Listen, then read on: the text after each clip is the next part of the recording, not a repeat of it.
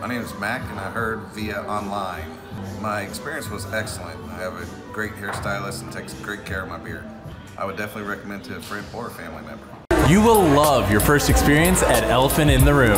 But don't just take my word for it. I will not go anywhere else but Elephant in the Room. I would describe the Elephant in the Room experience as the best haircut experience you can get. I like the atmosphere, and I just like the attention to detail, and just making sure that they got it right and over delivering. Every time that I come in, I get treated with great service, great haircut, and I love just leaving here with that fresh feeling. They take time to greet you, they always have a smile on their face, and treat you as a person, not a number. I would describe the Elephant in the Room experience as friendly, welcoming, and really relaxed place to come and hang out. The service is excellent here, um, and the people here are very professional. They give you good advice too on a good cut, and everything is just the way I want it every time.